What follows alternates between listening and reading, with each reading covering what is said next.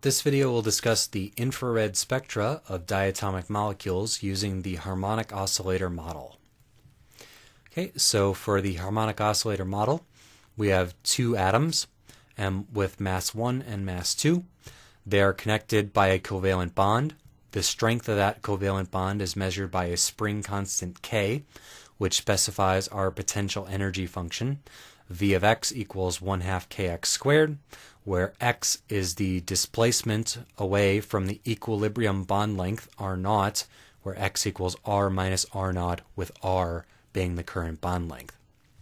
So a positive value of x is displacement beyond the minimum energy bond length, and a negative value is a displacement inside the equilibrium bond length.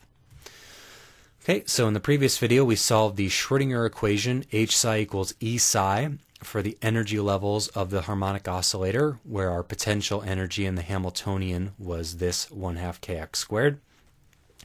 In that case, we got that the energy as the function of a quantum number n equals h nu times n plus 1 half, where n was some integer starting at 0 and going up to infinity. Nu is the angular frequency of the system, which is equal to 1 over 2 pi square root of k over mu. And mu is the reduced mass of the system, which we use as the mass in the kinetic energy operator, which is going to be equal to mass 1 times mass 2 divided by mass 1 plus mass 2. So when one atom is much, much heavier than the other, mu becomes almost the lighter one, and when the masses are equal, it becomes one half of that mass. Okay, so our energy levels are one half h nu, three halves h nu, five halves h nu. We're going up by a value of h nu every time as we increase to another quantum of energy. So for diatomic molecules in vibrational spectroscopy, so this is a model of vibrating atoms, when we go up from one energy level to another, our so-called selection rule for when we absorb a photon and get a new quantum of energy, that that selection rule is that delta n equals plus or minus 1. So when delta n equals plus 1, our final n is greater than our initial n by 1. That's an absorption. We have absorbed a photon of energy, and it has pushed us up one more quantum in energy. When delta n equals minus 1, our final state is lower in energy than our initial state, and we have decreased by one quantum of energy by emitting a photon, so that is emission. Um, most molecules at the are at the n equals zero state at 298 Kelvin. Uh, in thermodynamics, we discussed statistical mechanics a little bit, and it happens to work out that when you compute the values of K and mu that you're substituting in here, that most molecules at 298 Kelvin, for the most part, are going to be sitting down at n equals 0. So for the most part, we're talking about either going from 0 to 1 or from 1 to 0 for absorption and emission.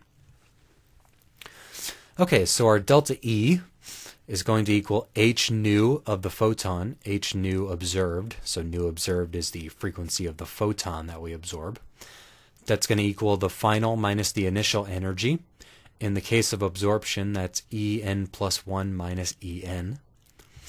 So that is equal to h nu of n plus 1 plus 1 half, substituting in n plus 1 for n here, minus E of n, h nu n plus 1 half. Okay, so what we see there is that the n plus 1 half cancels. What we're left with is just an h nu times 1. So our h nu observed, the frequency of our photon, is equal to h times the frequency of our oscillator. So the nu observed, the frequency of the photon that we absorbed to go up one quantum in energy, is the same as our nu of our system. It's 1 over 2 pi square root of k over mu. So that's in units of hertz, 1 over seconds.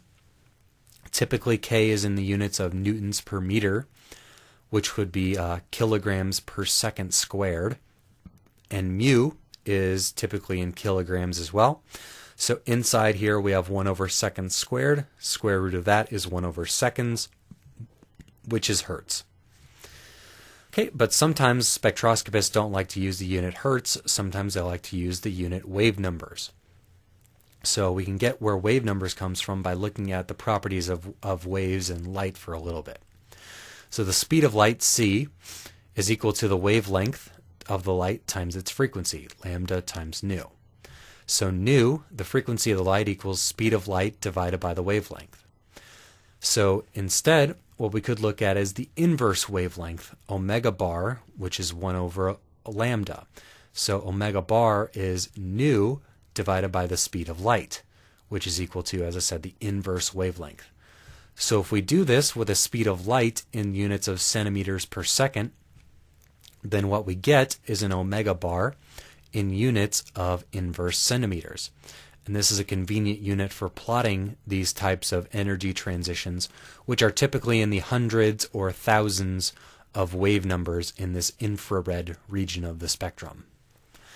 So the only difference between nu and omega bar is now we uh, throw in an additional division by the speed of light.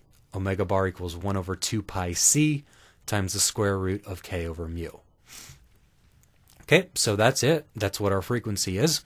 So we can do an example here, um, and we can see how if we're given the if we're given the inverse wavelength or the wave numbers of the transition, we can derive, given the molecule, what the spring constant is. Or if we know the spring constant in the molecule, we can derive the reduced mass and thus derive what our uh, wave numbers of our transition is. So we're going to do this example for F2. Now, spectroscopists don't freak out because you actually can't do infrared uh, spectra on F2 because it doesn't have a dipole moment, but I'm going to ignore that for the moment. We can get it from other ways, from Raman, etc. So I'm going to say that F2, both of these are fluorine 19, and we're going to say that the observed wave numbers of this transition is 916.6 wave numbers. And that falls squarely in the infrared region of the electromagnetic spectrum. Okay, so omega bar equals 1 over 2 pi c square root of k over mu. So if I multiply both sides by 2 pi c and then square them both and then multiply by mu, what I'll solve is that k equals 4 pi squared c squared mu omega bar squared. So now I need to compute what mu is for my fluorine atom. So in atomic mass units, that's m1, m2 over m1 plus m2. That's 19 times 19 over 19 plus 19, or 19 over 2 AMUs. 1 AMU is equal to 1.66054 times 10 to the minus 27 kilograms. So 9.5 AMUs is 1.5775 times 10 to the minus 26 kilograms. Again, these being atoms, which are only a couple protons and neutrons, very, very tiny, tiny mass. Okay, so we'll substitute in that value. K equals 4 pi squared. Speed of light in centimeters per second, 2.9979 times 10 to the 10th. Uh, our mass in kilograms times our frequency in wave numbers squared gives us that K equals 470.2 newtons per meter. So every meter that our atoms displace away from their equilibrium bond length, they would feel 470 newtons of force pushing them back towards equilibrium. So this is actually a fairly typical size for what these spring constants are. Typically you measure them in the hundreds of newtons per meter. And newtons per meter, as I mentioned, ends up working out in units because centimeters per second squared times kilograms times 1 over centimeters squared is what the units are up here. Uh, the centimeters cancel on the top and the bottom. We're left with kilograms per second squared. Uh, one newton is a kilogram meter per second squared. So a kilogram per second squared equals kilogram meter per second squared times 1 over meter. And that indeed gives us 1 newton per meter, just as we expect for the unit of this force constant. How much force do we get per given unit of displacement?